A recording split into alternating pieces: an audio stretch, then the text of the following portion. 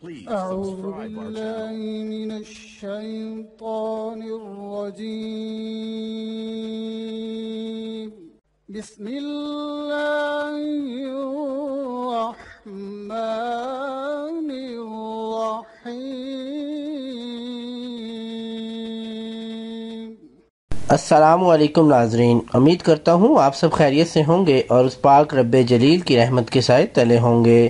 آپ تمام دوستوں کو آپ کے پسندیدہ چینل اسلامی قدم میں خوش آمدید کہتا ہوں۔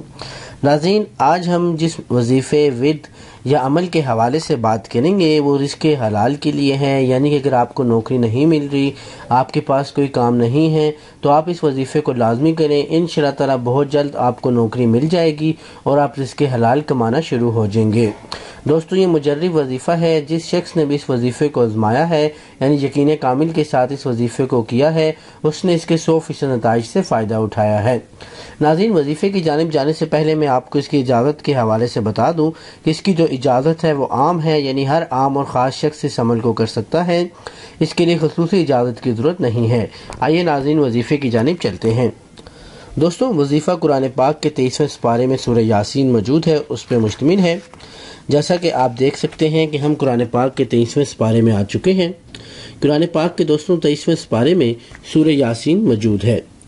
کرنا آپ نے یہ ہے کہ سورہ یاسین کی سیکنڈ لاسٹ آیت، جو آیت نمبر ایٹی ٹو ہے یعنی کہ سیکنڈ لاسٹ آیت جو ہے اس کی، اس کا آپ نے ورد کرنا ہے، روزانہ آپ نے اس آیت کو سو مرتبہ پڑھنا ہے۔ کس طرح پڑھنا ہے؟ آپ نے پہلے دن جس دن پڑھنا ہے، چالیس دن کا یہ وظیفہ ہے۔ آپ نے ایک وقت مقرر کر لینا ہے، روزانہ اسی وقت پہ آپ نے اس وظیفے کو کرنا ہے۔ سورہ یاسین کی سیکنڈ لاسٹ آیت ہے، آیت نمبر ایٹی ٹو اس کی روزانہ آپ نے ایک تسبیح یعنی سو مرتبہ اس کو پڑھنا ہے اور چالیس دن تک پڑھتے رہنا ہے۔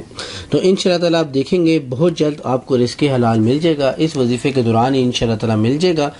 دوستوں اگر آپ کو چالیس دن کے دوران نوکری مل بھی جائے تو آپ نے اس وظیفے کو پورا کرنا ہے، پورے چالیس دن لازمی کرنا ہے۔ اس کی اجازت کی ضرورت نہیں ہے، اس کی اجازت عام ہے، ہر عام اور خاص شخص اس وظیفے کو کر سکتا ہے۔ دوستوں امید کرتا ہوں آپ کو یہ عمل، آپ کو یہ وظیفہ پسند آئے گا۔ تو اگر پسند آئے تو اس کو لائک اور شیئر لازمی کیجیے گا۔ شیئر لازمی کیا کریں؟ دوستوں تک اچھی بات لازمی پہنچایا کریں، کیونکہ دوستوں تک اچھی بات پہنچانا صدقہ جاریہ ہے۔ ہمارے چینل اسلامی ادب کو لازمی سبسکرائب کیجیے گا۔ بہت شکریہ۔ اللہ حافظ۔